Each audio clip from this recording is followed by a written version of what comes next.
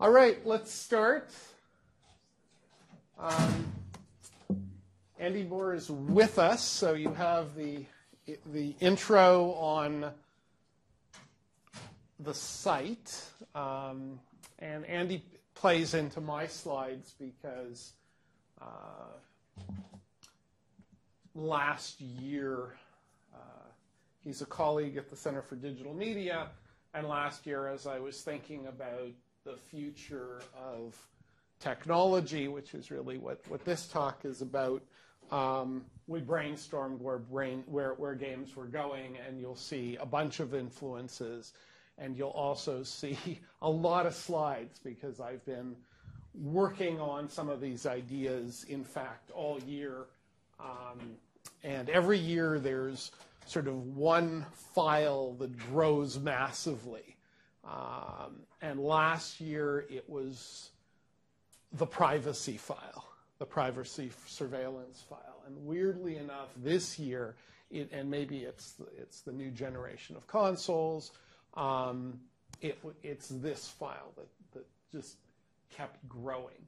Um, the violence misogyny file is just always huge. So um, although it's probably grown a bit the last few weeks.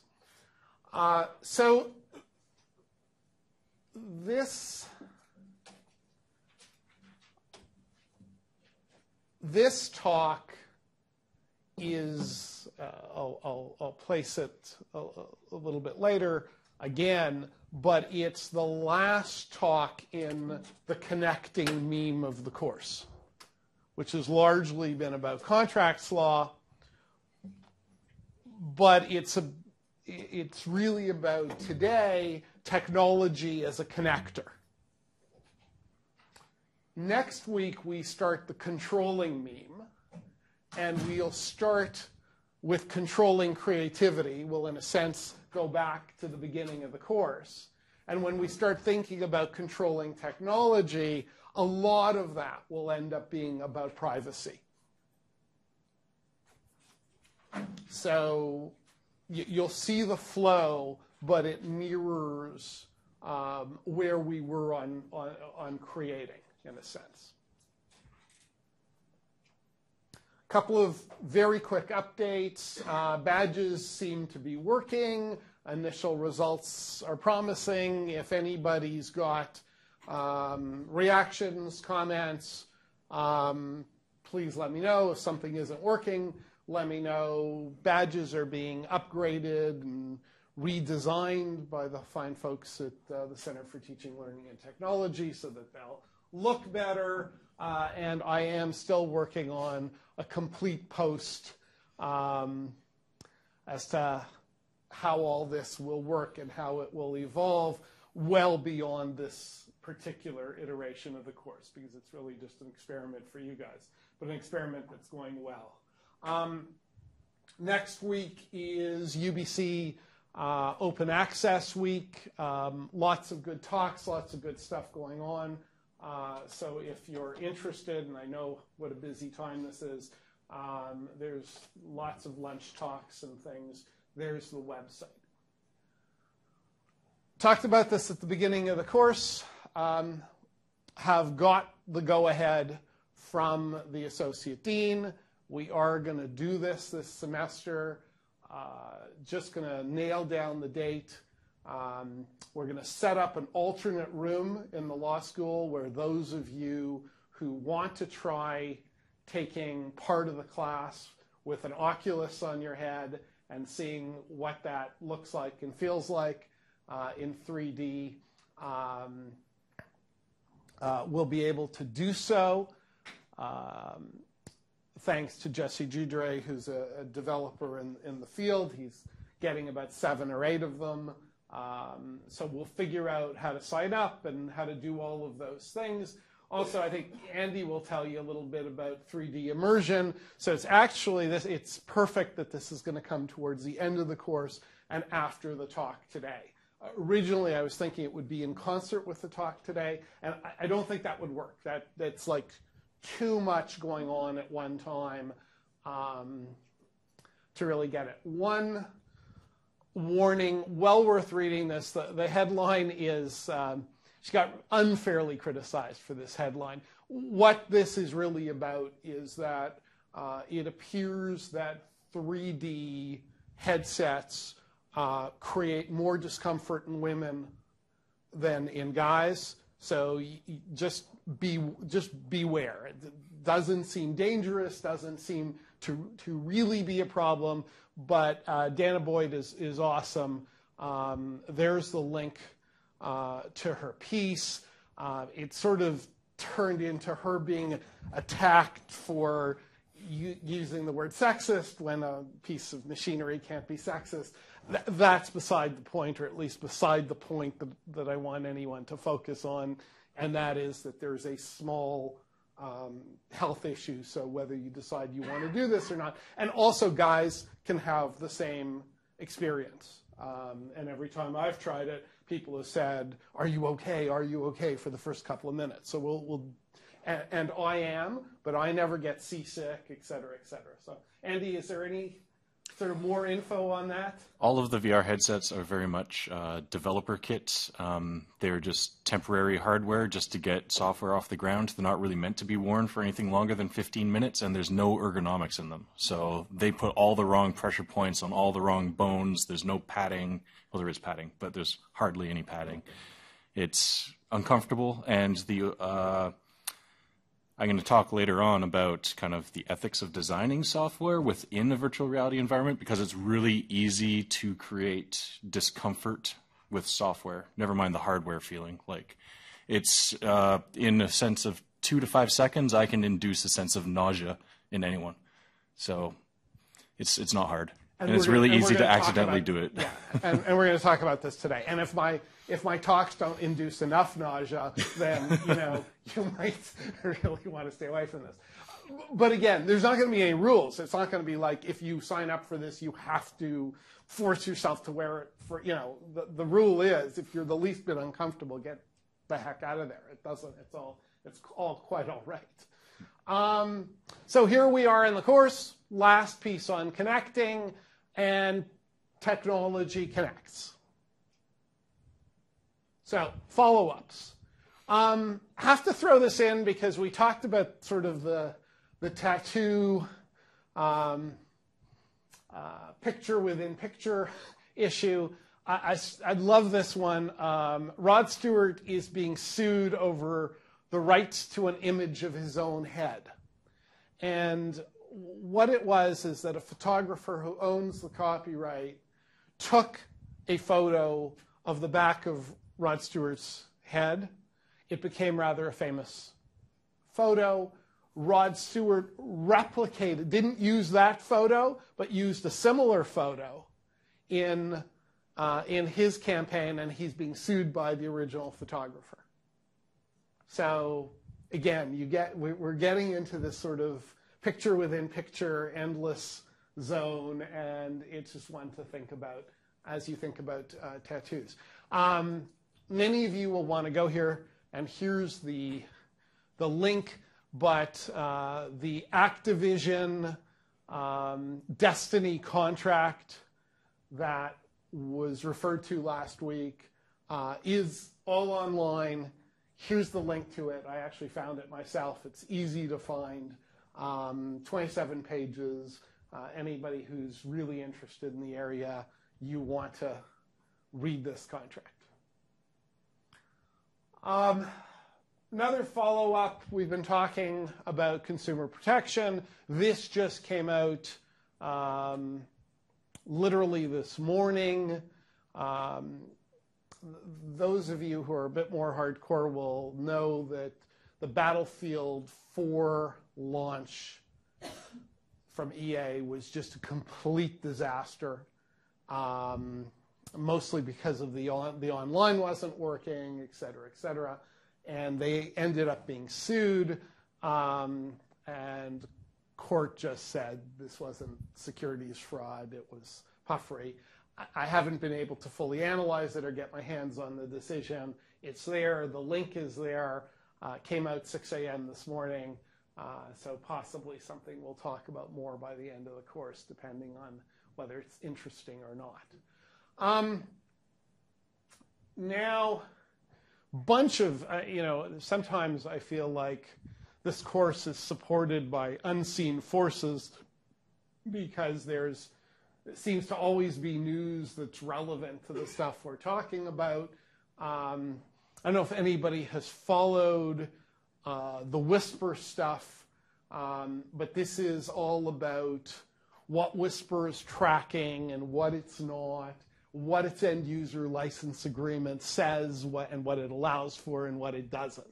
And there's a lot of back and forth with the Guardian and Whisper, um, and it's well worth, uh, and, and it's all in News of the Week, which I actually got up first thing this morning for a change.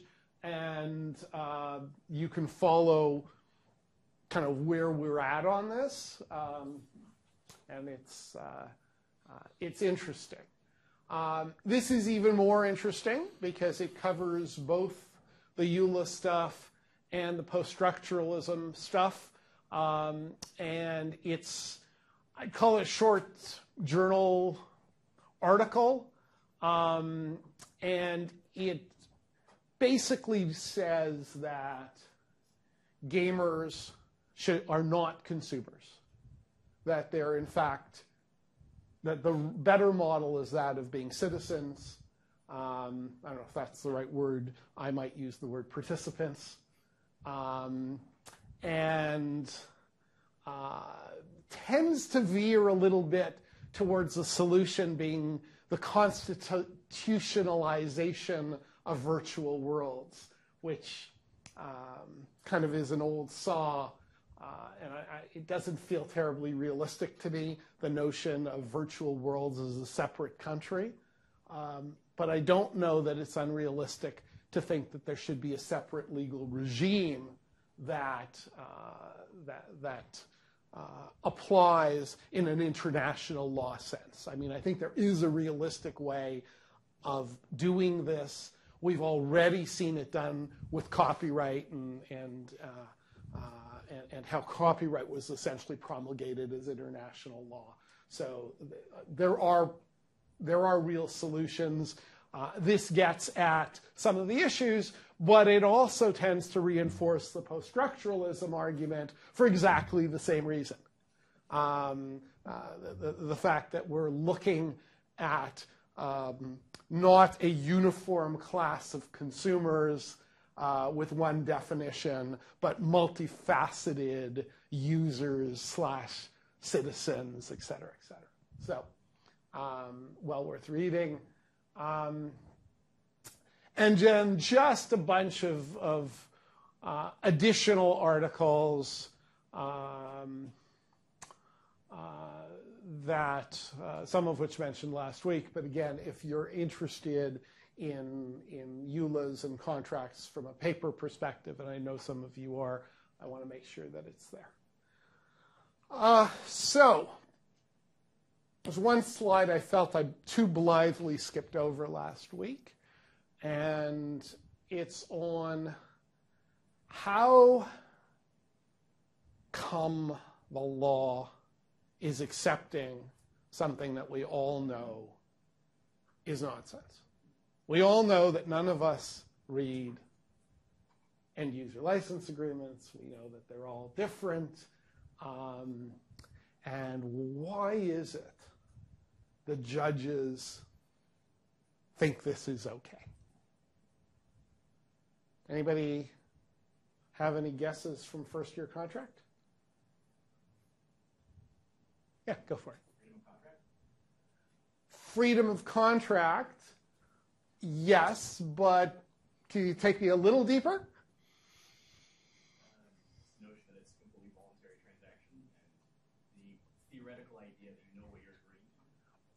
Right, but I know I'm not, but we all know, and the judges will acknowledge, that no one's reading this stuff. So you don't know what you're agreeing to. So how come they're still upholding it? Go ahead, you're first. Is it business efficiency? Because uh, we're trying to get some services, and of course, by reason that without these dealers, the companies might not be able to give us the services. You're very close. I, will recast it slightly in, in kind of old-fashioned legal terms, but I think you're, you're Very close. Yeah, it reminds me of like you know, uh, you know, cases where like a, where you get a parking voucher with terms in the back. Yeah. Yeah, it's uh, uh, lots of companies, you know, sneak these little contractual terms in their products. Similar video games. Uh, the same more as a certainty of terms thing. It's, Bingo. it's the one thing they can actually look to to see what is the agreement, even if you didn't actually agree to it. So the common law explains itself. Um, I actually went back last year to my old uh, textbooks from McGill Law in 76, to, in 1976 to figure this out. And uh, that's why Cheshire and Fifoot, ninth edition, 1976. You guys probably never even heard of Cheshire and Fifoot. I don't know if they're still producing, if there's still a, a text on contract law, but uh, by that name. Con- common law is concerned not with the presence of an inward and mental assent, but with its outward and visible signs. So efficiency and business efficiency is a big part of it. So what we care about in the con- and there's been there are lots of cases in the history of contracts about where this should go and where it finally settled long before we had end user license agreements and long before we had digital technology was this notion that we're in a sense we're going to drive ourselves crazy unless we accept outward formality. And that's that's really biting us at this point. And how that gets reconciled and whether some new Lord Denning emerges who sees through all of this and figures out the right road forward remains to be seen.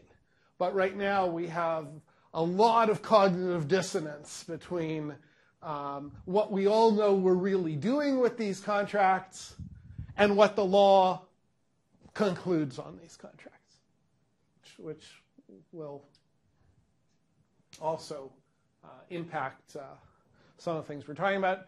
Um, more on, on structuralism. This is sort of a wonderful post. Uh, how's the Stanley Parable going for everyone? I have started it. I have installed it. Um, uh, I want to show you one thing. Uh, it has, you know, remember this is a little game and it's uh, sold over a million in a year. It is a very good game. So um, if, if you can, at least start playing the demo. So Well, you know, there was a, the demo of the Stanley Parable is, is sort of a different thing. Well, it, it does for game demos what the Stanley Parable does for games. But I think it's, it's worth playing in its own right, even if you've already. Oh, really? Because I'm into the game. I, I If if you even if, you, if you're done with the game, pick up the demo. It's- okay. Well, that's a that's a, a, a really good hint. Um, I, it will. It's entertaining, and it it it will sort of alter uh, your mind. This is sort of my my favorite TV show when I was 10 years old. I don't expect you guys to to know what it really is, um, but we're we're looking at the future of technology, and we're looking at it through the lens of today because that's all we've got. But when we do that, we start thinking about how does law and tech interact, and is there a pattern there, and how do we understand it? And that's that's going to form uh, a part of this. Um, I'm assuming everybody knows what, what a holodeck is. I'm not sure I've seen a holodeck in the recent Star Trek movies. It tends to be from the old series, so that's uh, that that's a holodeck I think from Next Generation, uh, and this is um, what Microsoft has done and got working, and that's basically turning your entire living room into one giant surround screen and uh, they have a patent on this, uh, and th- they're definitely going holodeck. Um, where we're going to go today, I hope, is quite a bit further than holodecks.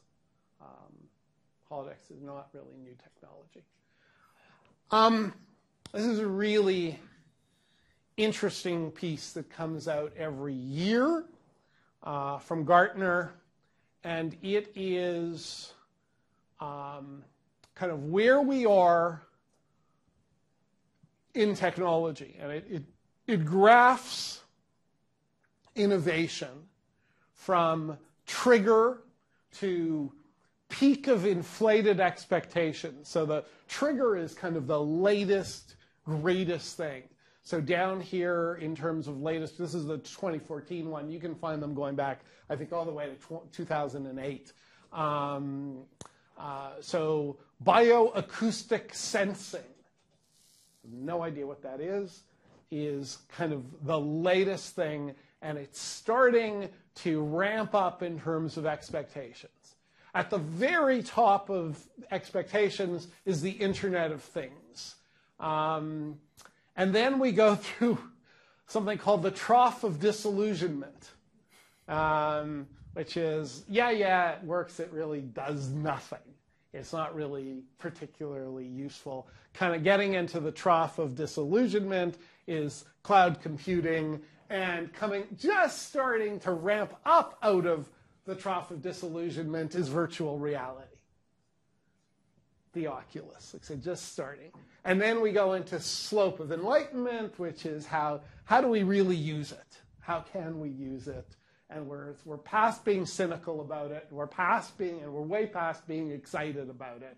And now we're starting to use it. So where are we in slope of enlightenment? Enterprise 3D printing, right? Enterprise 3D printing was once here. And it's now, okay, it's a usable thing, usable for some things, not going to change the world in other things. Let's just get on with it. Um, and then plateau of productivity, it's actually working. Speech recognition. It's actually working. I now can dictate things. If I'm reading out of a book and I want to put it on a slide, it's actually working. It's, it's, it's remarkable. So now we get to how do you relate memes of justice and technology, which is what I alluded to. And the question essentially becomes why is the law so slow? Why does it respond so slowly to tech change? Can't we make it faster? And there's lots of evidence around the frustrations here you know, lots of lawsuits, tech content wars, you know, articles in the MIT Technology Review, law and ethics can't pay, keep pace with technology. Um, when does, this is an article from the Atlantic, when does technology change enough that the law should too? You know, it's a very common theme.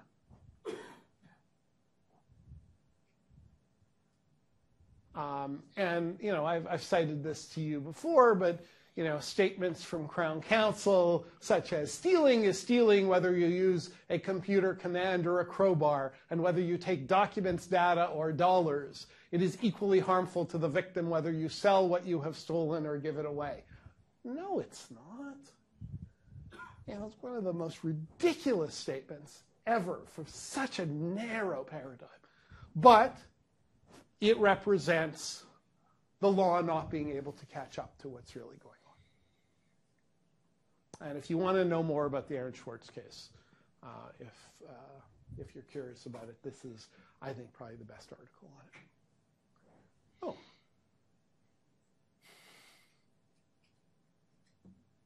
Huh.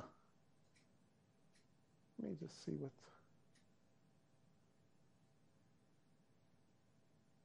All right, I guess there's no slide there. So we're disappointed by the disconnect.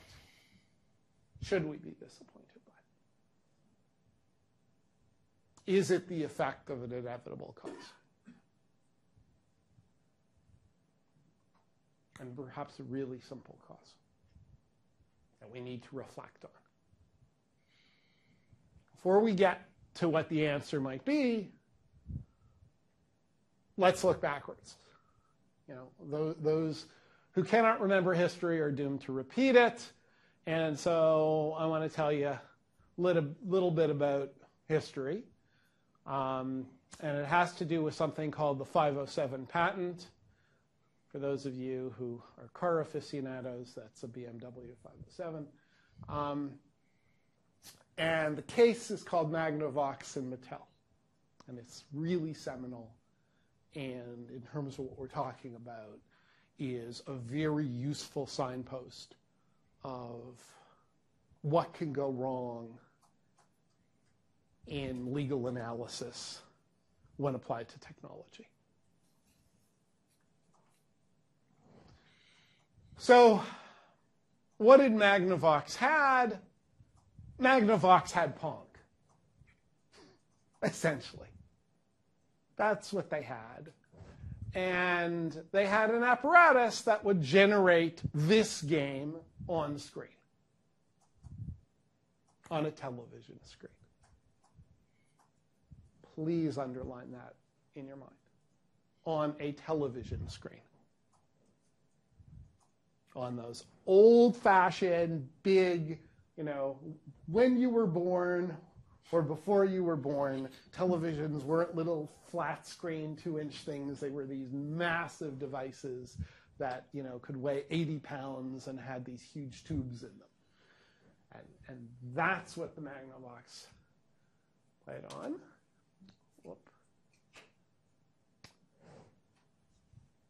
Now you got to go back. In 1962, a game called Space War was released on a mainframe computer at MIT. Space War, I don't know, does Space War have anything to do with rockets, rockets, rockets, Andy?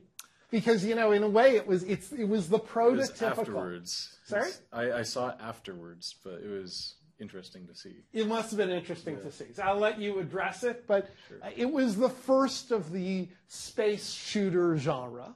And, and Andy's latest game is a fabulous game called Rockets, Rockets, Rockets, available on Steam. Um, and you can see the lineage. But the important piece here is that Space War, which is not actually, but is essentially acknowledged as the first video game, was on a computer. A big computer. Because there was no other kind of computer in 1962. I mean, I'm quite sure that the DEC PDP-1 mainframe had less computing power than any of our iPhones. Can virtually guarantee that. But now, the 507 patent comes from a different place. It came from a company called Sanders Associates, who entered into a license for this technology with Magnavox. And the patent was about how to put a game on a television set. Space War was a game put on a computer screen. Hold that divergence. Is that is that a distinction without a difference, or is that terribly important? You know from today's perspective how that feels, and that's obviously the moral of the story. But let's uh, let's let this unfold. So, Magnavox releases the Odyssey, which was an analog was an analog box in its first iteration. In 1972, in 1975, Atari introduces Pong in a home console format. They had it in a in a big box that you could play um, in an arcade, but in in home console format. And two things happen in 1976. General Instruments introduces a TV game microprocessor. So they're, they're not building a device yet. They're just, they've just created a chip. So they've gone from analog to digital.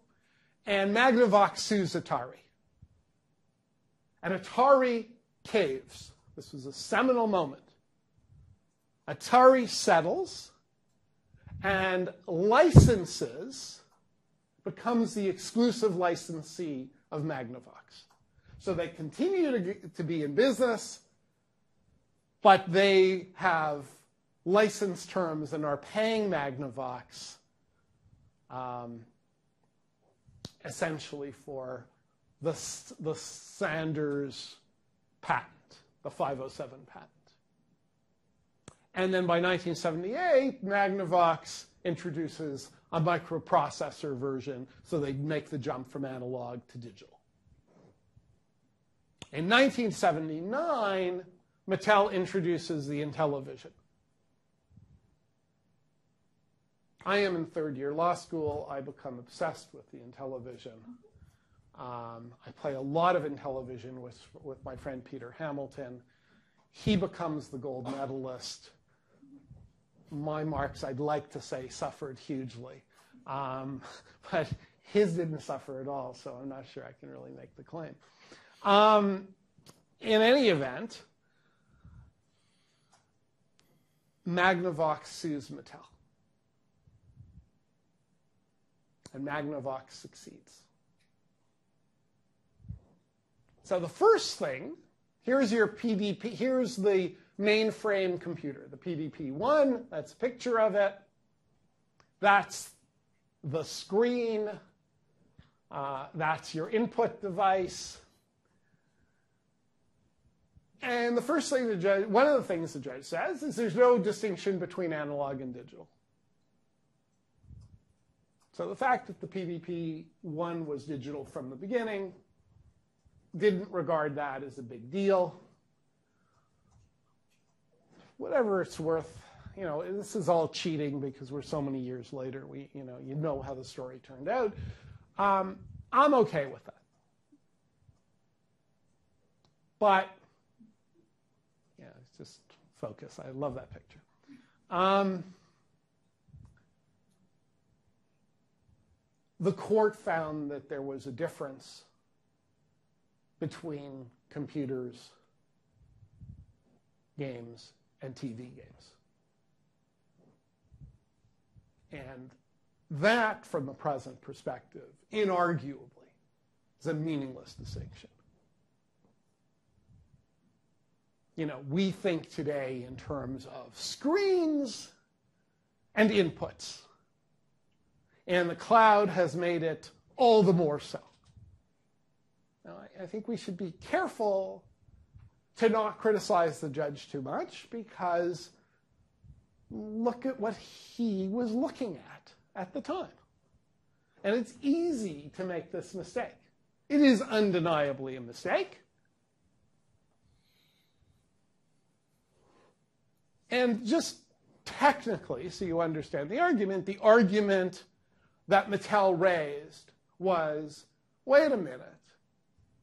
There was prior art before the 507 patent, and the prior art was Space War and getting games on a computer at MIT. Therefore, the 507 patent should be uh, is meaningless we're really following Space War and creating games. Yes, they happen to be on a television, but what does it matter? Which we now know is correct. The court found it did matter. So why does that why could this case possibly matter today? What kind of mistake could we make today that looks like that? So I just want to point out that in the red, you have what you might think of as regulated zones. Zones where the government is actively regulating through statute that have something to do with gaming. Mobile, and uh, just today, the story may have come out yesterday, but just today I saw a story that definitively predicted that by 2015, next year, there will be more revenues from mobile games than from console games. So very, you, know, undeniably significant in a gaming context, regulated. For some of us, not regulated enough, in fact, on the mobile side. And we know television is regulated also by the CRTC. And consoles thus far aren't, and computers also aren't. And I'm not going to take you into the niceties of CRTC exemption orders. Uh, there's a lot of history if someone's interested in writing a paper on it. Uh, we could really dig in. There's a lot there uh, to dig into if you're interested in possible government regulation of video games. Put the question in the most simple form, which should have you recoiling in horror, uh, is Destiny broadcasting? And you're going to go, can't be. So let me show you the definition of broadcasting. Means any transmission of programs, no question that there's transmission here because it's multiplayer, et cetera, et cetera. We'll hold, hold on to programs for a minute. By means of telecommunication, clearly happening for reception by the public, clearly happening, by means of a broadcasting receiving apparatus. That's an interesting thing.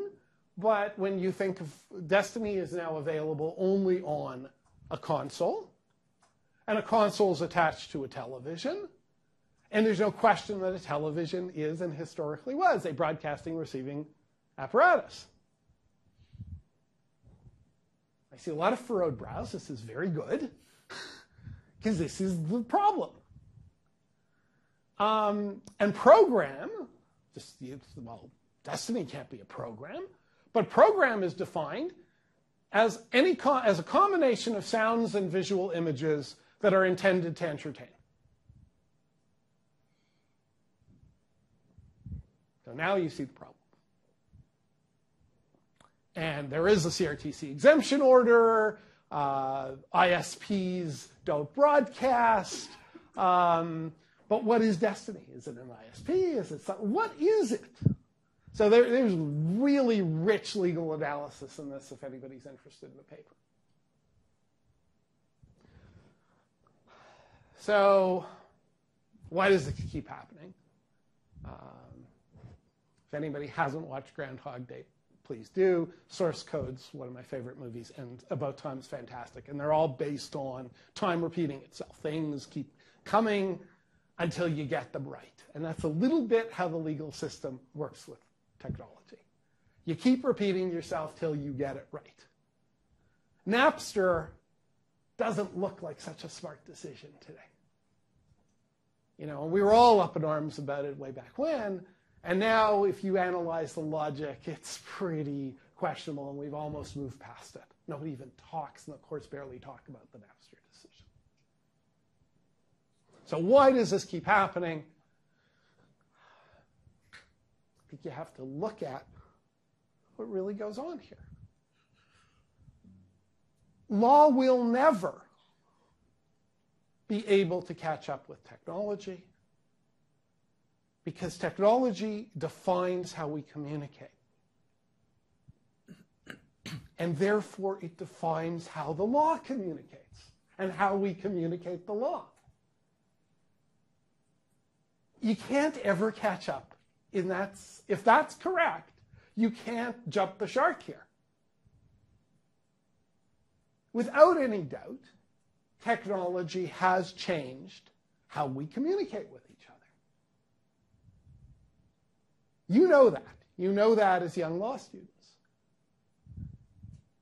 Well, that also gets to the underlying, that becomes a meme of communication, and how we communicate with each other affects all things in society, including law, which is a thing in society. A thing with deep roots, a thing that changes, But that change starts with language, and how we communicate affects language. So, law and justice don't shape communications technologies as much as they are shaped by them. That's what I'm suggesting. And, you know, we make the law. Not everybody loves that, but we do make the law. Even some of the more right wing justices of the Supreme Court of the United States will acknowledge that we make the law. They just want the snapshot to be 1776 and say, well, we're, but we're not going to evolve it from then. You know, I'm hardly the only person who thinks that's nonsense. Um, this is kind of a whole other area of research for me, so I'm not going to get into the huge details, but I'm going to suggest that there, the arrow of time works here. And you know, before we had a concept of justice, it was just straight revenge. Then we got into different memes of justice. And you may or may not agree with my characterizations of the memes of justice. I, I think I'm pretty confident in my memes of technology.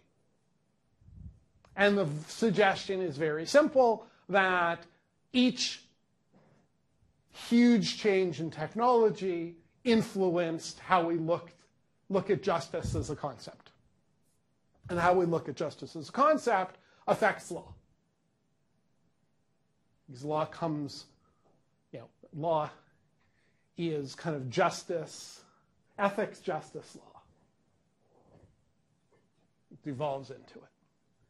Um, and kind of the one that really jumps out, and there's, there's acceleration, as there has been in almost all things in, in human existence, but the one that should jump out at you is the printing press. And largely justice getting redefined as rights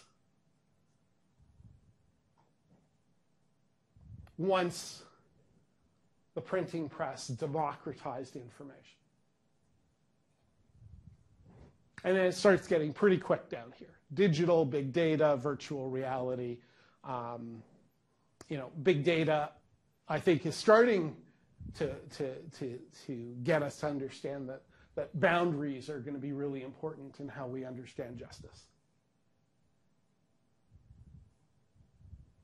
a little bit more about that. And then the one that we'll leave as an open question, at least for this slide, is virtual reality. That's the coming thing. So in a virtual reality world, how do you define justice? Um, it also might work the other way to some extent. I, I, I, think it's, it's a much smaller effect, but it's an important effect. This is a very recent paper by Dan Burk uh, from UCal Irvine uh, called Copyright in the Architecture of Digital Delivery.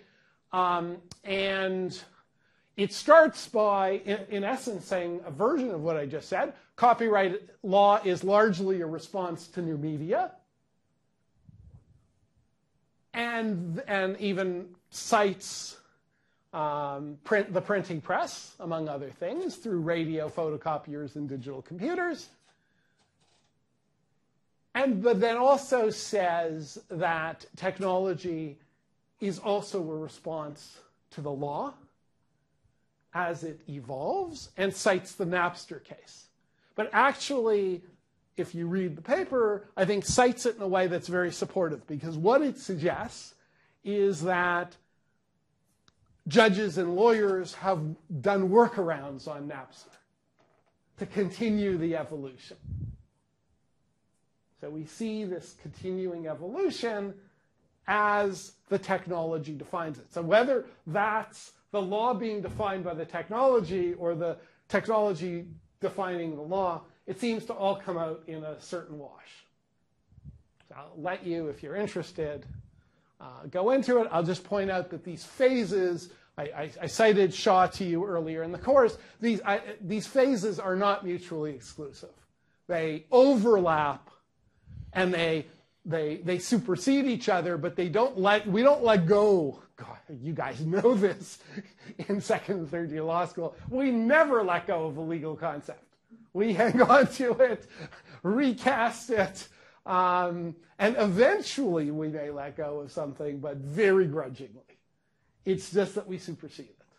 So um, that's a little bit uh, like Shaw's observation on how technologies supersede each other. They don't wipe out the previous technology. Um, so, virtual reality, just to, this is just what, what I think. It's a big question mark, is that where we're eventually going to be going in terms of thinking of justice is freedom of thought. And that ties in directly to the things I'm going to talk about in the next 15 minutes.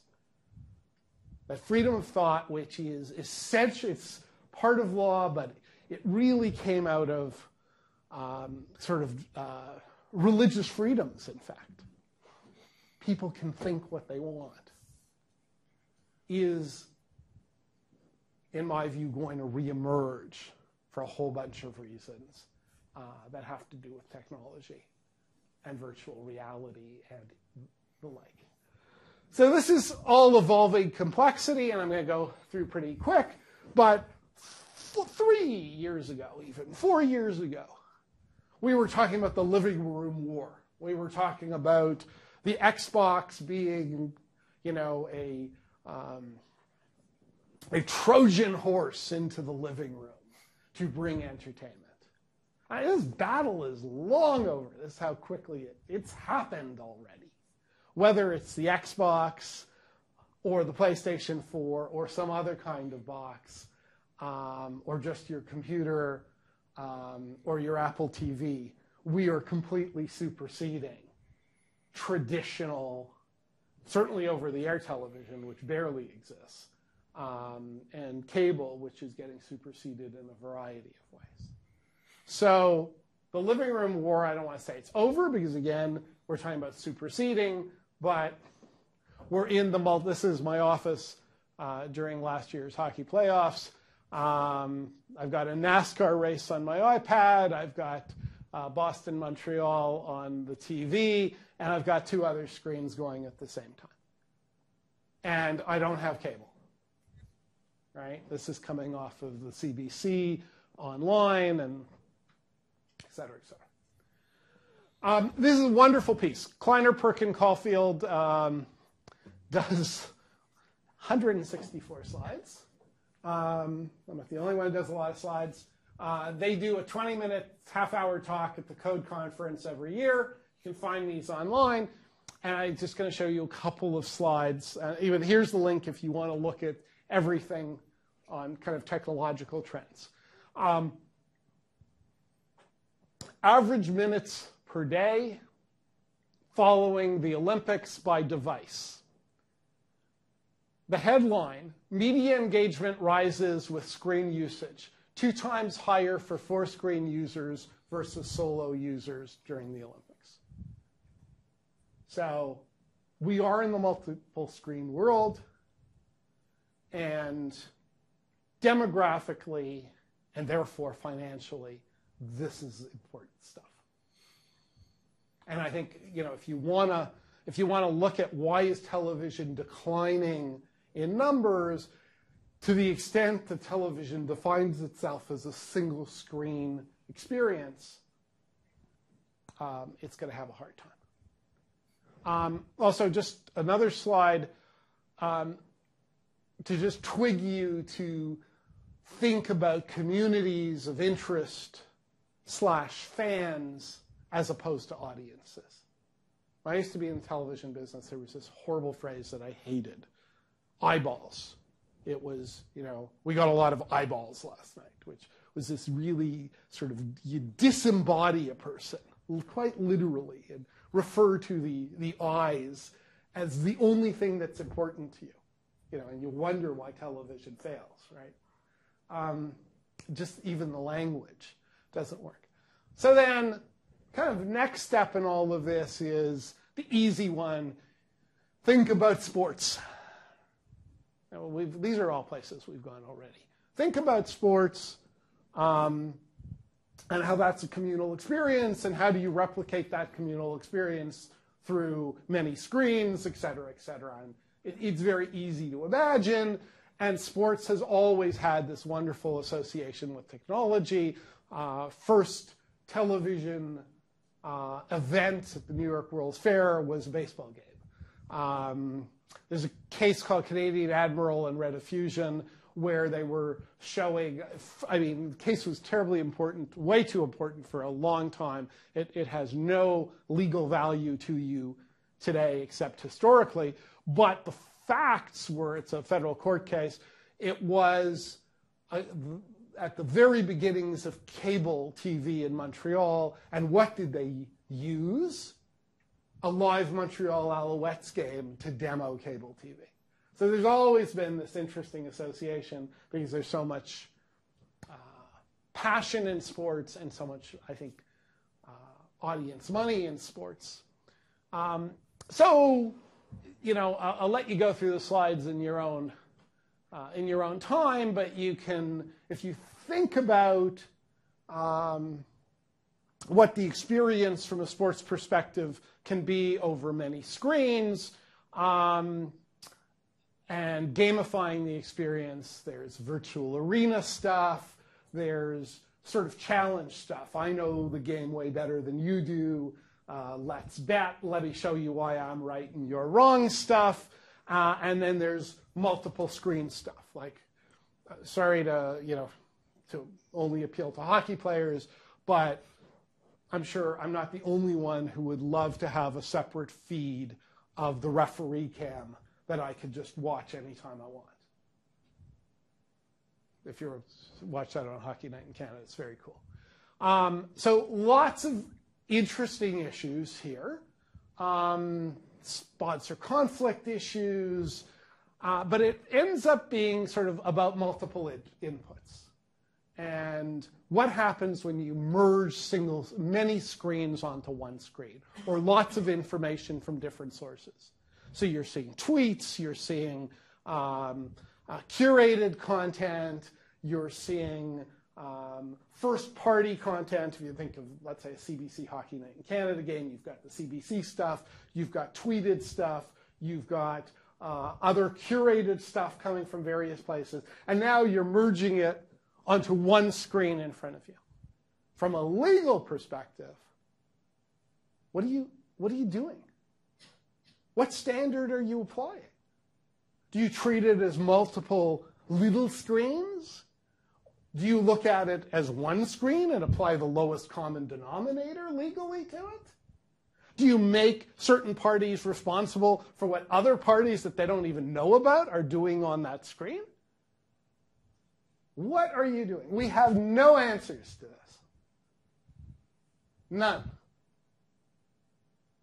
This is happening and we don't have answers. We will get answers. And again, think about your meme of technology influences your meme of law. Of course, we don't have answers.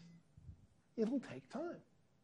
It's a very unsexy answer, but hopefully gives you some explanation as to why it'll take time. And there are important questions here because people are making elections. The best example is, uh, and there's lots of work done on this, is Google entitled to freedom of speech in the United States?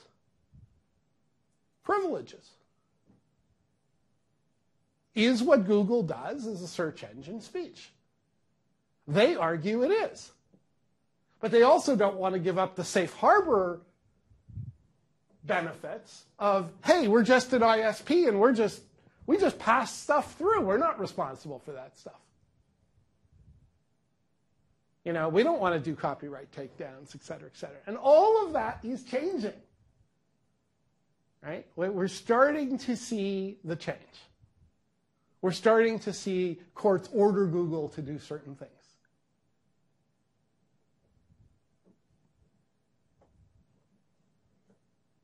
the right to forget or the right to be forgotten. European court saying, you've got to take stuff down. So again, first comes the technology, then comes the navel gazing and the angst, and then come some decisions, and then those decisions evolve. So now we get into kind of we're all we're almost up to date. Things are moving so quickly. Um, gaming has always created this confusion, and, and culturally, the best way of looking at it is, is films, where, you know, you're inside the game. Like, you know, what's the matrix? Is it about the outside world? Is it about the inside world? You know, we create this confusion between the inside and the outside. And that's where games have been for a very long time. They are their own reality. That's why we love playing them. We get immersed in them. Um, and we get a little bit confused between the real world and the virtual world. But in this phase, not too much. Uh, there was an ill-fated EA game, but I think it was a very brave attempt called Majestic, which um, you know, it was a computer game, but it would also phone you and fax you and do things in the real world outside your computer that were part of the game. Failed miserably, but it was a, it was a really neat attempt. And so the, sort of phase one of this is this confusion.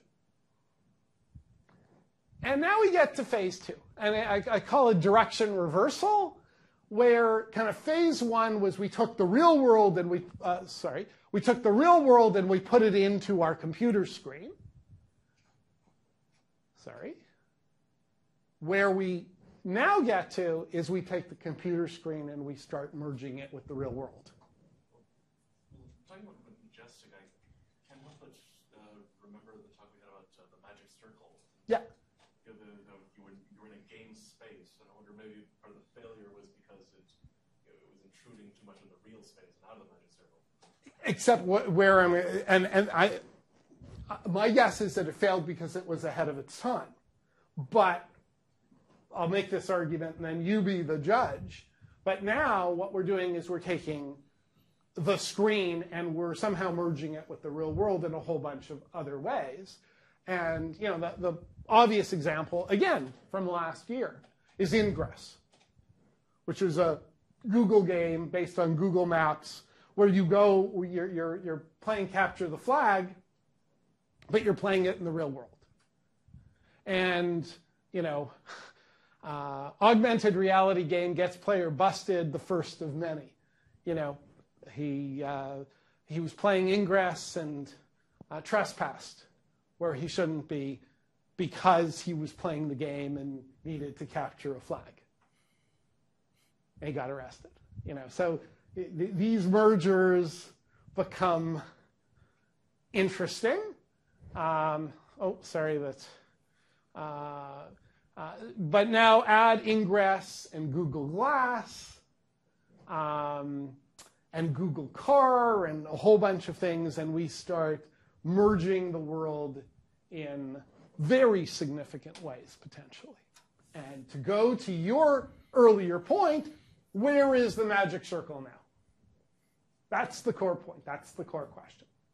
What do you do with that? Because the magic world has been, the magic circle has been what has fended off law, at least in theory.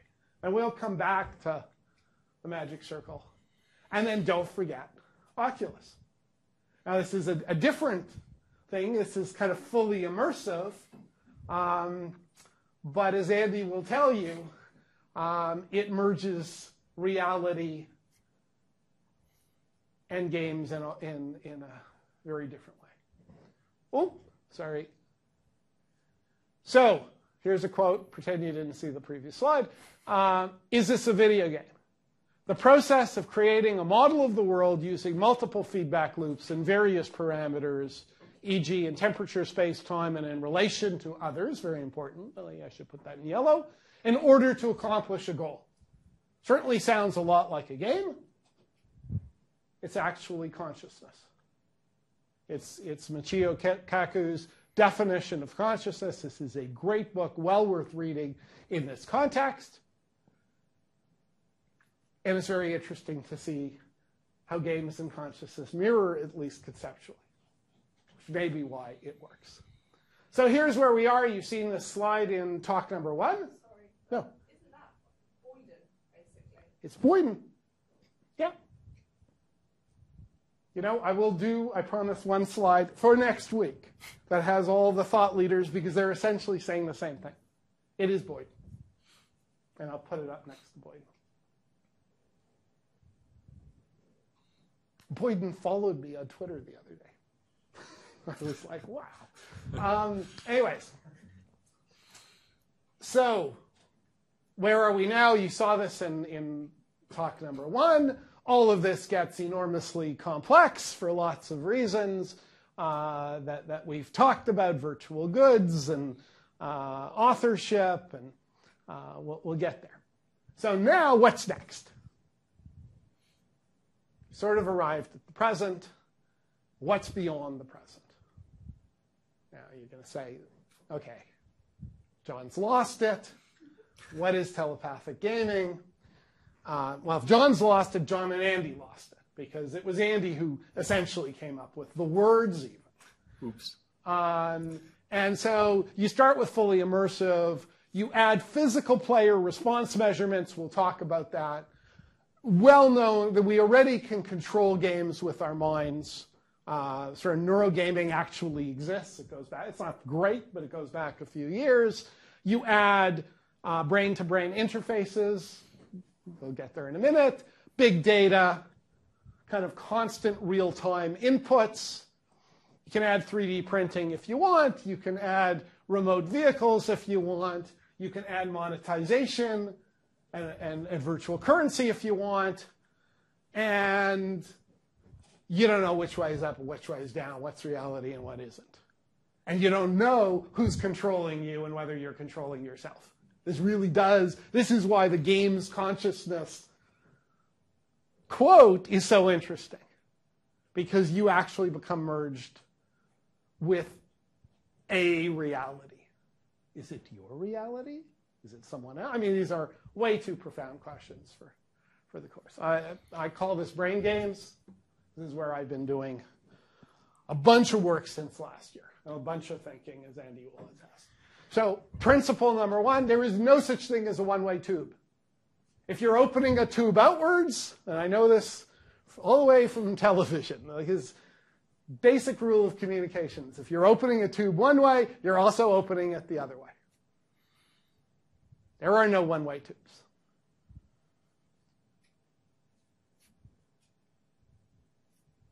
Controllers read you. We know that. And they're going to read you way more. So whether it's the Kinect, the Oculus, now you're, you're sticking something on your head. Is it going to, you know, can you voluntarily have it interface with your brain? Because it's certainly we have the technology to do that. Um, you know, the NSA can read your keystrokes. We know that as well. So we have all these devices. You know, this thing tells the world exactly where you are. So you take that and you add it to big data. And what, what okay. So those of you who are gamers, I will postulate that if I really was a terrific psychologist and had a ton of data on how you game and specifically on how you play Counter Strike, I know how you make decisions. I know your decision making modes. And if I have all sorts of other data on you, um, you know, uh, uh, your heart rate, your, you know, what state of anxiety you're in, how much you've slept, you know, if I have a lot of other data on you, I know all your habits. I know an awful lot. And, and that's the thing about you know, games, you're disclosing a lot about yourself when you play. Because we all play differently. That's the point. It's Boyden. Our individual footprint, our individual self, our individual consciousness is mirrored in how we play. That's why this all hangs together. Um, MIT Tech Review had an article called Hacking the Soul, new technologies that look inside the mind and will make it possible to change what we think, feel, and remember. I'm going to go through this really quickly. Stanford has a video game controller that knows if you're bored. There are links attached to all of these. We're very close to having the first death in VR, in virtual reality. Andy will talk about this. But by heart attack, is the suggestion. Neuroscientists plant false memories in brain.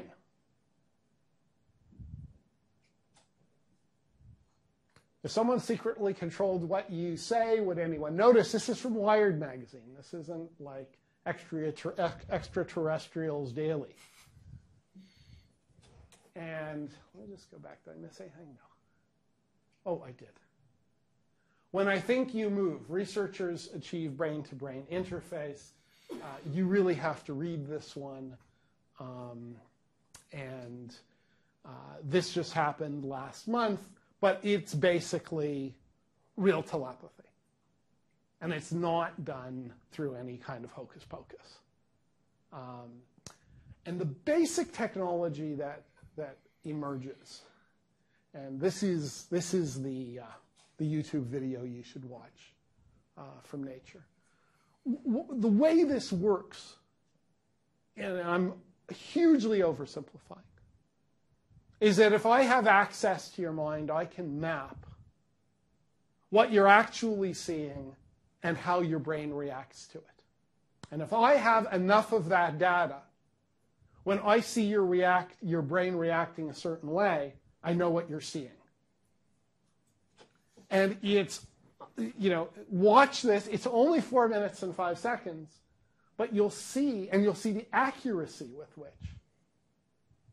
what someone's actually seeing is reproduced through sheer technology and mapped. And this can actually go to your subconscious mind and, and your dreams. So researchers can see what you dream even if you've forgotten it. Dream recorders. Yeah. And then you know, Valve is working on various aspects of this. And, and, I think, I don't know how much Andy can say because he probably is, is under a, um, an agreement, a non-disclosure agreement with Valve, but he probably knows some things about what they're working on. Any legal issues? So we will get to the legal issues in a couple of weeks because they really come around privacy. Um, but just to sort of tantalize you, once it becomes possible to read people's minds, which it now is, and remember, he probably wrote this book a year ago, and make recordings, a host of other ethical and legal questions will arise.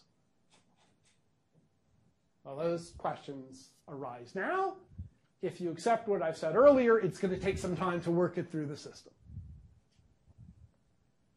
Great place to start.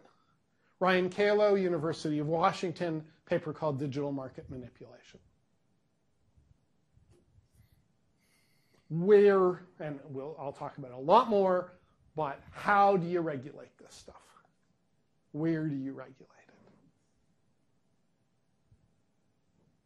it? Is consumer protection law enough? And this is where consumer protection law and privacy law are going to merge. And in my view, freedom of thought will become an important concept in law. A long forgotten concept. A concept that nobody's really done a lot of work on in about 100 years since Bury. Also, freedom of experience. Whoa. Which is different from freedom of thought. Because freedom right. of thought is just like being able to uh, like think what you want to think or whatever, right? But freedom of experience, like you should, like maybe you should have the right to not feel nauseous when you play my video games right? Or um, human bodies are incredibly fragile, and the human mind is even more so. Um, if you, if anyone wants a really easy primer on basically consumer psychology, there's this awesome website called You Are Not So Smart, or Y A N S S yanss.com. Um, it is all about the science of self delusion. And it is basically a catalog of how you can manipulate people. Uh, I mean, this is not the intention of the website. If you had ill intent, you could use all the information on this website to manipulate people with a product into doing what you want without them realizing it.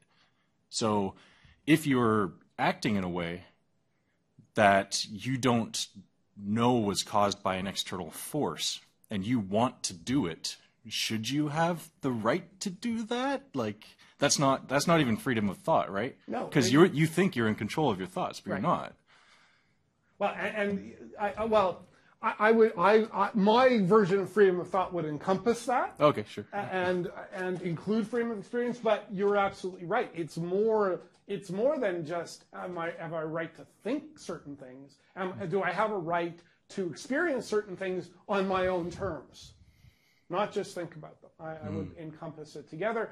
But also, I'll take you back to Mavis Dixon uh, from IOGO, who came a couple of weeks ago and showed you how manipu- how just current technology video games can manipulate you based on very you know, simple psychological formulas without all of this direct brain interface stuff that we now have. Um, and all this goes back to Vance Packard and the hidden, persuaders, and how do you update it to the, to, to, to the current day and to digital technologies and what it's capable of. Um, bunch more articles. Again, really, um, for those of you who are working on papers in the area, uh, sort of three pages of articles. And we don't know what's real, and which takes us back to Nick Bostrom of Oxford. Um, and, and this really is, is interesting. Bostrom argues in this paper, which is well worth reading, that there's a really good chance, something like a 35, 40% chance, that we are simply living in the computer simulation of a future society. And he sort of extrapolates what computers can do and says, you know, it's really not far fetched, you know, that in the future computers are so powerful that they can create an entire world or an entire universe, and that we're just some, we're, we're inside the computer of some five year old kid, which is a future human. So, not that, not human, but a future human. Now, there's, you can also have a debate on robotics and, and where that's going. And they're also working on these, they're actually trying to test it scientifically. There have been two, two uh, experiments, and the, the uh, look, I'm hardly an expert in this, but as I understand it, the issue is actually one of resolution. If this isn't the real world, then we will see it pixelate at a certain point. And one study has seen it pixelate, and the other says there's no pixelation in this world. So the one that says we're pixelated suggests that we're in some future simulation. I think it's fascinating that it's uh, it's mathematically unlikely. Like if you just look at the odds, like of all of the universe's existence, it is mathematically unlikely that we are really here. It is way more likely that we're in a simulation. But the good news is that it doesn't really matter. Exactly. you still have to you still have to write your papers. Yeah. Sorry. Go ahead. The answer is 42, right? Oh yeah, yeah. Yeah. But what's the question? Well, you know, if we're thinking my mics, um, Rosebud. Um, anyway, sorry, some of you will know that, some of you won't. So next week we start controlling um, in various forms. We, we have finished with connecting, and we are going to switch over, and Andy's going to have the rest of the people will rejoin. Um, so I don't know that there's a huge introduction that's necessary here, but Andy um, is, uh, I, I would consider a friend and certainly a colleague. Um, he has been embedded in the Center for Digital Media for a couple of years now, um, runs uh, a game company and has throughout, but uses a lot of student input and ex students at the CDM from the master's program um, uh, definitely populate his company. He does lots of cool, innovative stuff, and um, uh, he has talked to this class before, uh, but this year I've sort of given him the big topic, which is the future, um, because he's been so good in the past. So there you go. Thanks, Jon. yeah, Jon came to me and said, "Hey, how about you talk about the future?" I'm like, "Can you be more specific?" He's like, "No, no, anything you want to talk about." It's like, oh, "Great." so yeah, I'll talk about the future. Uh, so you have some. Uh, oh wait, that doesn't work. There we go. Hey, me.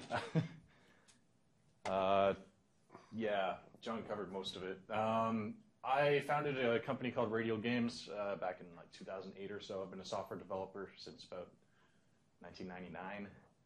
And uh, yeah, uh, my passion is creating communities and uh, teaching and helping others make games. I'm not in this t- so that I can, well, I want to keep making games forever. But uh, more importantly, is I want everyone around me also making games and helping grow the local community. And, you know, I run a lot of local game jams and community events and all sorts of stuff. So I'm kind of involved in everything, it seems like at times. Um, my last uh, three major titles, which it's okay if you haven't heard of them because I'm an indie developer and I don't have a marketing budget. So ah, that's all right. um, whoa, geez, this is really touchy. Uh, a few things I want to cover today, loosely, generally speaking, are just uh, general ethics, which I thought would be interesting for you folks in particular. Um, also, kind of the general future of the video game industry as I see it, and the differences and interesting points that come from augmented versus virtual reality, which are two very different things that are coming up. But yes. Um, I'll preface, preface, preface. I'll preface all of this from uh, a standpoint of I'm just a dude that makes games and likes people. I have no idea what legal terms are. I'm scared of lawyers. It's, uh, it's, it's very uh, uh, low-fi in that regard, and uh, a lot of these topics may be. uh, you guys may be way over my head, I should say in that sense. So uh, hopefully I won't be talking about things from too basic of a standpoint, but uh, feel free to like throw up your hands or interrupt or whatever. You say, yeah, yeah, and I'll move on. That's fine. All right. so first I'll start off with kind of uh, the foundation of all of this. Uh, the, the whole game, I have very few slides. It's very different from Jon. You take it all in. This slide will probably be up here for like another five minutes. Um, there's a big change in the gaming ecosystem, video gaming ecosystem, going on for the last few years and will be continuing for the next few years as well. Uh, the primary thing driving this is the barrier to entry is just lowering and lowering, and lowering, and lowering. It is. Uh, it, there once was a time when I was writing software, I was competing with you know people with bachelor of science, bachelor of comp sci, you know, kind of uh, degrees, and 30 year olds, 40 year olds, but now there's people writing games and they're like 14 years old and they look better than my games and they play better than my games. And damn kids, you know, it is, uh, the barrier to entry is so low now that there is, oh, what is it? I think they recently hit 10,000 games per day added to the iPhone in last October. So that's a year ago. A day, right? So if I'm a company trying to create games and trying to compete with like 10,000 games a day, which is ridiculous. It's a huge number, right? How, how do I stand out? How do I show up in the top rankings on the, on the iPhone store, on the iTunes or App Store? How do I stand out and how do I uh, make a name for myself? And it's really, really hard. And the whole industry is basically a grab clog game. It's like you just pop in a quarter, and that's like your life savings. And then an arm comes down, and if you get a plushie, then you get to make another game. And if you don't, well, hopefully you're 14 years old, still living in your parents' basement. But if you have a rent uh, to pay and you have have a staff to pay, then you're out of business. So, uh, yeah, it's scary. it's scary out there. But the good news for, say, potential future video game law people is there is infinite supply of customers that will be seeking your services. So, uh, yeah, there are going to be winners, but uh, it's hard to figure out how to become a winner. Um, it's kind of my job as uh, the leader of my company. My job is to gaze into my crystal ball every day, guess what next year is going to be like, and then act on it now. And then uh, looking at, uh, you guys know sunk cost fallacy? Some of you. Sunk cost fallacy, okay. Uh, sunk cost fallacy is uh, if you've invested a lot in something, you don't want to give it up, even if that is the most correct choice in your situation. So if you put $1,000 into repairing your car and then it breaks down again, you're more likely to sink another $1,000 into it because you've already spent $1,000. It doesn't matter that the next repair is going to cost even more. And then there's probably going to be another one after that, another one after that, when it would have been cheaper just to buy a new car, right? So humans are bad at this, the sunk cost fallacy thing. So I have to look at games that I've been developing for two years, foresee the future of the industry, make a good guess, realize that that's not going to work, and then cancel the whole thing before it costs me the studio instead of just costing me time. Right? Might as well start again. So there's a lot of really hard calls to be made, and you especially have to make them because you're competing with 1,000, 10,000 games a day sometimes. So that's uh, the iOS marketplace, like 10,000 games a day. Android is even more. Uh, then there's other marketplaces like Steam. I'm going to be talking about Valve a lot, I think, in this talk. So if anyone doesn't know, Steam is. Does anyone not know Steam? It's like my bread and butter, so it's kind of blows my mind when, some, when someone has never heard of it before. So, all right. Um, Steam is a virtual uh, marketplace for selling video games on the internet. Yeah, self-publishing is a big thing. So, changing ecosystem. It used to be years ago. If you want to ship a game, you team up with a publisher. The publisher gives you a nice, happy legal team. They make you sign a 52-page contract. They give you money up front. You develop the game, and then they make almost all the money on the back end when it actually goes up for sale. So it's almost like contract work, right? Almost. They're just buying creative. Then you make it. They slap their logo on the front. That's it. But now there's so many people making games that they can afford to publish you without giving you money. They'll just say, "Yeah, we'll slap our we'll slap our logo on the front, and then we'll take all your money, and in return, how about screw off?" like we'll give you nothing. How about if we put the Sony logo on the front of your game, more people are going to buy it. That's that's our marketing. Yeah, nice. And people buy into this. So Now, the first rebellion was ironically Valve itself, yeah, right? Valve, um, which made Counter Strike, left Sierra, if memory or serves. Microsoft. No, I, I will, maybe. Okay. Anyways, They left Different someone because they didn't feel the deal was was fair Oh yeah, from the publishing standpoint. from the publishing side, and I, I do think it was Sierra. I, I have mm-hmm. this visual of of Half Life being on a Sierra box, and c- kind of went their own way, did their own deal where they retained their IP, and that's actually been the genesis of of the Juggernaut. Then you know, Steam logically arises from that, so that they can treat other developers the way they wish to be treated, and they've now made endless amounts of money on that uh, marketplace concept. Valve has a gigantic money bin that they swim around in every day. It's pretty. It's pretty incredible. But yeah, the the founders of Valve were ex Microsoft people as well. So they Yes. came from the publishing environment and they started their own company. Then they kind of self published a game and it was super successful. And then they got to keep all the money and then they just They- kept doubling down with that money. So self publishing is like this really great thing, and it's not just video games. Self publishing is becoming really big in books, and um, there's like Smashwords, I think, is a really popular one. If you want to write write your own novel, there's ways to do that now, and you don't need to go to you know Random House or whatever. That's the only book publisher name I know off the top of my head.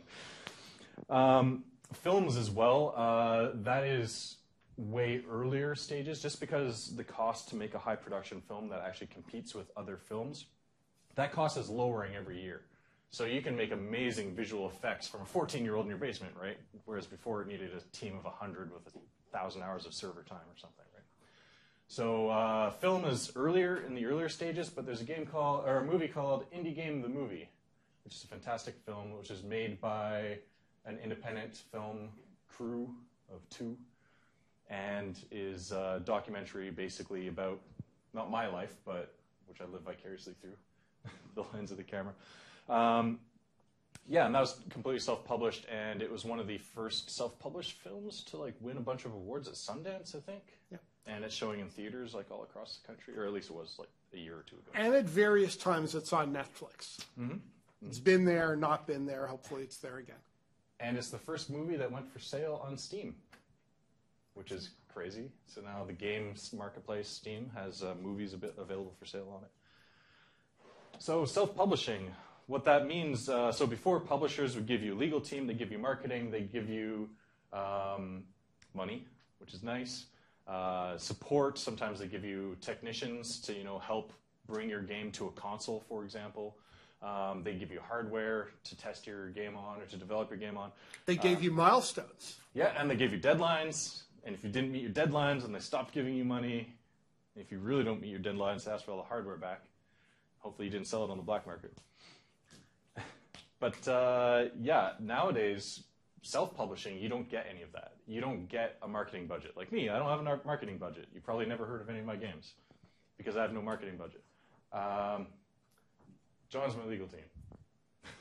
I've probably talked to him for like an hour total on, on legal issues. Um, Keep it simple. Yep, keep it really simple. But I, I'm missing out on a lot of opportunity doing that. But this is kind of the new reality. Um, I have a dev kit for the PlayStation 4. I have two dev kits for the Xbox One. Um, I have the Wii U dev kit. I have the Vita dev kit. I have all of the dev kits. I have all the contracts signed. I'm able to publish on any platform I want. And that's where our agreement ends. They just kind of throw a pile of hardware at you and say, now do what you want. And there's no support, there's no marketing, there's no money, there's no technicians, there's nothing. My one advantage in this industry now is that I have the dev kits and the 14 year olds don't. Like, that's my only lead. And Xbox One is changing things again. Um, the Xbox One doesn't actually require dev kits. When I say they sent me dev kits, I just mean they sent me a free Xbox One. Any kid that owns an Xbox One, that is a dev kit. You just sign up for the website, it's free, you sign a 10 page contract, done, you can now publish games on Xbox. Like that's that's it. And you just upload a file. So there's still a bit of gatekeeping going on. This transition of just hitting a button and your game appears wherever you want it. It already exists on Android. I could make a game right now and you could have it, you could pay 99 cents for it later today on your phones, on an Android phone. It's a completely open marketplace that anyone can hit a button and launch a game. Done. iOS makes you wait a week and they have some content filters. You can't make an Apple iPhone game um, that has excessive violence or pornography or whatever, right? And if you try submitting a game that has their banned things in it, um, they re- respond back with this kind of boilerplate that says, if you want freedom of speech, please submit a book where we'll give you open access. But if you want to launch a game on our platform, you have to conform to our ideal views.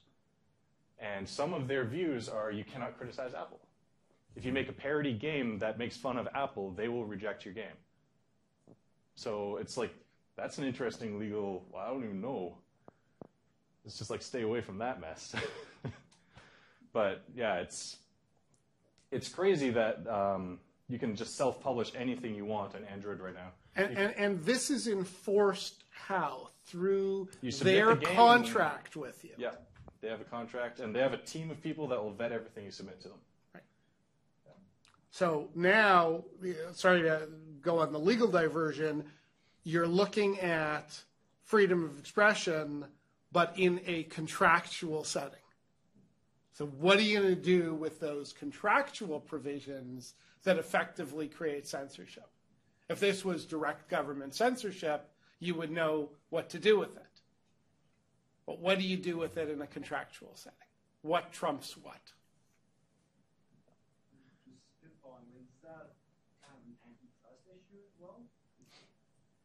And that's, uh, first of all, great observation. And that's where it resides. And that's where it moves to, I should say. But that's, but, but it's not within the purview of antitrust or the Competition Act to look at freedom of expression. They're looking at whether the marketplace works and whether there are unfair barriers to entry. So now there's this duality where you're using the barriers to entry question to uh, sort of instinctively enforce freedom of expression as a democratic value. See, the stuff isn't fitting like perfect Lego blocks anymore. And uh, but your observation is exactly right. I think PR people from Apple have not legal people. I'm sure this wasn't a court decision anywhere, but um, a PR person from Apple said, "No, no, there's complete freedom in this marketplace because you can always publish on Android. Yeah. It doesn't like it doesn't matter legally that iPhones are outselling them in North America, right? It doesn't matter. Well, it, it matters to how the market gets defined, which is very much an antitrust competition law issue that we probably are not going to have time to get into in this course, but it, it collides.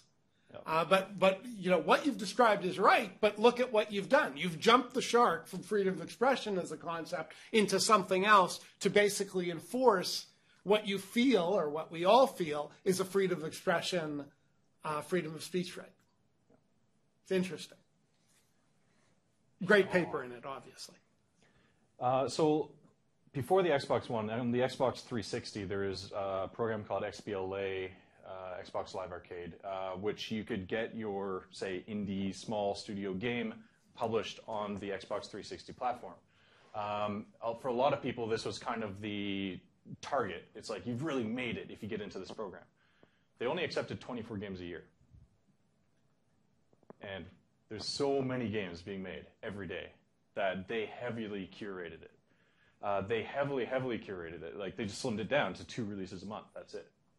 And if you had an amazing game, but they already had the two games that month, well, you could delay for maybe six months, maybe a year, who knows? Or you could just not launch there, which is kind of terrifying. Um, but the curation was there. With Xbox One, that curation has largely gone away. Uh, Microsoft still wants to maintain the image of their console. Like they don't want you just playing like fart apps on Xbox One, right? Like they don't want you doing that. So they still do curation. Um, Sony as well with PlayStation. Uh, they're also like they vet your software to see if they want it on their system, but when it used to be like two years ago, 24 games a year get on. Now it's like there's 200 and the year's not even out, right? So they're really opening up the floodgates. Um, Steam system, um, they used to be a pure curation system. You'd have to essentially pitch your game to Valve, and then they would let you onto the Steam marketplace. A few years ago, they introduced Steam Greenlight, which allows you to kind of make a page and you kind of pitch your game on this page and people can vote on it. And if you get enough votes, then you automatically get into Steam. And they started letting in 10 games per month. Uh, and now they're up to, what is it, 800 games this year so far? And it is going away. They're removing Greenlight. Pretty soon, they're going to allow you to just self publish and they won't even curate anymore. The marketplace is now so big that there's no point in them curating it to make sure that the marketplace stays pristine, right? They can't possibly handle that, and they don't want to hire a million people just to curate games all day. So they're automating the whole thing. Um, a big step towards that was they changed the marketplace so that the front page used to be a curated selection of 10 games that they picked. Now the front page is based on your interests and your likes and all these other things. So if you don't like fart games, they won't show up on your front page, so it solves the problem. They Facebooked it. Yeah, they yeah they just use their big data to to figure out the system. Like they solved the system. All the problems. I get I get racing games. I mean, yeah, you get obviously. racing games. Yeah, yeah. Whatever game you like will now show up on your front page. That's it. So curation is no longer a problem there. So there's no reason for them to restrict entry to anyone. The more games, the better the system works. So they're going to open that up. But again, right now, I'm really happy on Steam because I'm one of a few people that successfully pitched to Valve, and I get some royal treatments, and they put me up on featured images and stuff like that, and I get money for that, and that's awesome. I love that, and it keeps my company afloat. But starting in the next few months, we're going to start seeing, I don't know how many, maybe 10,000 games a day in a few years again. Right? It's going to be the same problem in a new marketplace. And this is always the case in every market is this discoverability problem. and it becomes really, really difficult to deal with. But uh, in this changing ecosystem, now anyone can publish pretty much. There's a guy that just had his game like two days ago launched on Steam, and the launch didn't go as planned. It showed up, he got a big banner image, and on the bottom of the banner it said now available on Greenlight, but it wasn't. It was now available for realsies on the store. This is on uh, Or- or thi- the this is on News of the Week right now. You can you can find it, but you'll tell the rest of the story. So guy gets upset that it was mislabeled on his big banner. And he goes to Twitter and he says, I'm going to fucking kill Gabe Newell, the CEO of Steam. They're Valve. And Valve's response was, We have ceased all communication with this developer and pulled all of his products from our store. We will not comment on this further. He has not only sunk himself, his name, his avatar on Twitter, like is now forever linked to this action. And he's resigned. Doesn't matter. I know. He had a no, team he- of yeah, yeah, yeah. He's resigned. You can again find He's- this on News of the Week. This just happened like late last night. Yeah. He resigned. He made a sort of fall on a sword speech speech that he he's going to have nothing to do with the company. He's not going to make any money, and he hopes that Steam and Valve will take the game back because of the team. Yeah. So it wasn't just him alone, right? There's a whole team working on the game, and they all got flushed down the toilet with this guy because he couldn't contain his temper on Twitter. So that kind of brings me to this uh, next slide. Whoa, next slide with this thing. Whoa, oh no. Oh, jeez. Hey, PowerPoint screwed it up. It says uh, uh, uh, social accountability. oh, right. Yeah, it's just scrolled off the top of the screen. Social accountability. Uh, so, social accountability is something that we have to now deal with in our day to day lives. Uh, what you say on Twitter, uh, like you're talking about the EU, um, was it legislation where they said the right to forget stuff? Yeah, right. To forget. Yeah.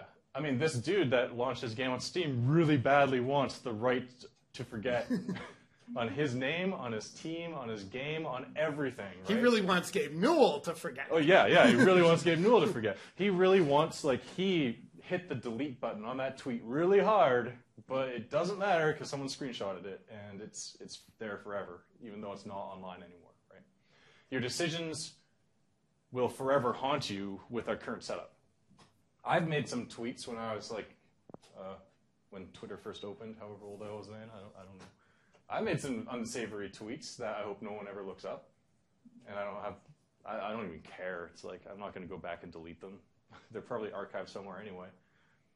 Um, there's people saying um, when they're applying for jobs, the companies are asking for their Facebook passwords as part of the application process. This is how serious they are getting about vetting people, and that's probably illegal. I don't know, but people are doing this, right? This is how important um, your social presence is. And this is really, really important because, because there's no publishers, there's no marketing budget, there's nothing helping you. So all I have to do the marketing is me, and all I have is my social presence, and that's it. And it's so easy to spoil that now, and it's so easy to ruin that. Um, Gamergate? Anyone know Gamergate? Anyone not know Gamergate? I'm like living through the hell that is Gamergate right now, so it's uh, Gamergate is uh, bullshit. it's about journalistic ethics. Seriously. It's basically a bunch of internet trolls saying that there should be better journalism in video games, and to support this cause, let's destroy every woman in the industry. How about? Yeah. It gets more complicated than that. You can look it up if you want to. There's an awesome article this morning on Clickhole, which is uh, the Onion site, the Onion's uh, sister Oh, okay. site. So it's like this parody news article about Gamergate, and it really does like the perfect job of describing it. So you can check that out, clickhole.com. But uh, yeah, there's a lot of people now that are kind of jumping on board this kind of thing. And if you have the Gamergate hashtag in your Twitter search history, you are way less likely to get hired by anyone in the industry now, unless you're like making a sarcastic remark or something. but it is like it is like a death tag for this industry. And fans of games, they don't see the problem with it, and it's really easy through the you are not so smart stuff, uh, through uh, uh, the the weakness of the human mind. Um, a lot of people don't see what the problems are; they fall for it, just like um, uh, conspiracy theories. You can't argue with someone that has a conspiracy theory because engaging them in the conspiracy theory reinforces their neural pathways, and they can't distance themselves from it. Right? There's, there's no way to defeat someone, especially when their theory says, if you have logic, then I'm right. So you can't logic them by definition, right? That's why it's a conspiracy theory. Anyway, so social accountability is like this really interesting thing, and it, Gamergate is an interesting catalyst for all of that because now we have um, a whole bunch of high-profile journalistic websites that are covering this whole issue, and this Gamergate thing is going to be with us for years, and it's going to define the cultural atmosphere of video games for the years to come. Uh, there may be legislation around this stuff. Um, some of these Gamergate folks are um, calling in mass murder. Um, Death threats.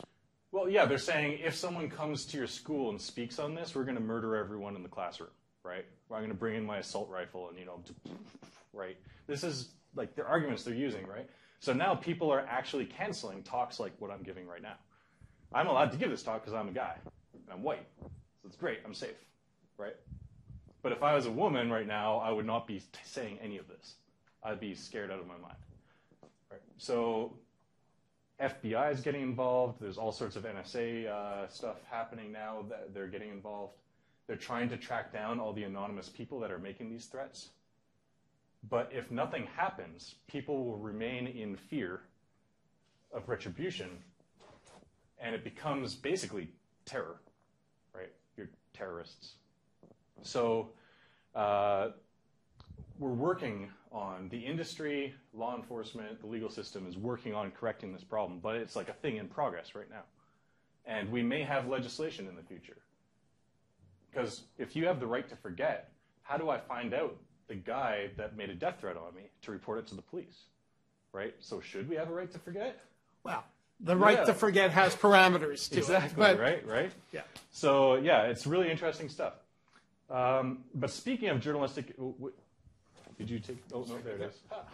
Um, speaking of journalistic integrity, though, which is what GamerGate's supposed to be all about. Journalistic integrity. It says journalistic up there. This is like from the launch of like Halo 4. This is why we can't have ethics in journalism.